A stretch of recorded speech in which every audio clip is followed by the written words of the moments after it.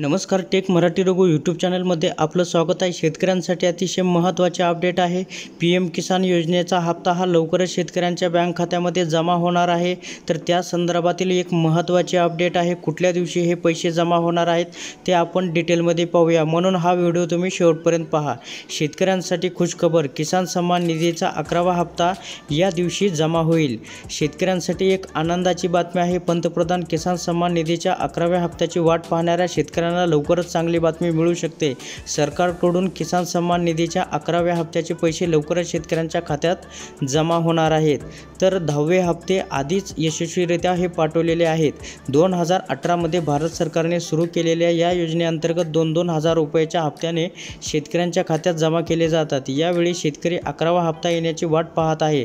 अशा स्थितीत त्याचा अकरावा हप्ता लवकरात लवकर शेतकऱ्यांच्या खात्यात जमा व्हावा असा प्रयत्न सरकारकडून केला जात आहे. या योजनेच्या लाभार्थी शेतकऱ्यांच्या खात्यात केंद्र सरकारकडून आत्तापर्यंत दहा हप्ते यशस्वीरित्या पाठवण्यात आलेले आहेत. पुढचे अपडेट पाहूया. पी एम किसान सन्मान निधीचा अकरावा हप्ता या तारखेला येईल. ज्या शेतकरी लाभार्थ्यांच्या खात्यात किसान सन्मान निधीचे दहा हप्ते यशस्वीरित्या प्राप्त झाले आहेत त्यांच्यासाठी आनंदाची बातमी आहे. म्हणजे या निधीचे पैसे सरकार एक मे नंतर कोणत्याही दिवशी त्या शेतकऱ्यांच्या खात्यावर वर्ग करू शकतात.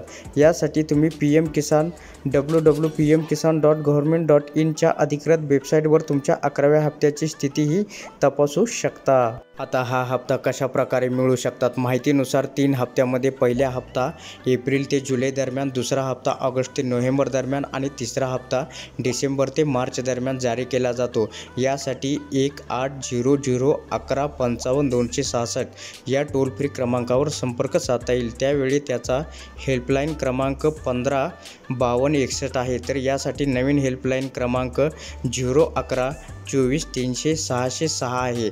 त्याचवेळी यासाठी ईमेल आय डीचा पत्ता P M Kisan I C T at the rate government dot in आहे. तर अशा प्रकारे पी एम किसान योजनेचा हप्ता शेतकऱ्यांच्या खात्यामध्ये एक मेच्या नंतर जमा होण्याची शक्यता आहे. अशाच प्रकारे नवनवीन लेटेस्ट अपडेट मिळवण्यासाठी चॅनलला सबस्क्राईब करा.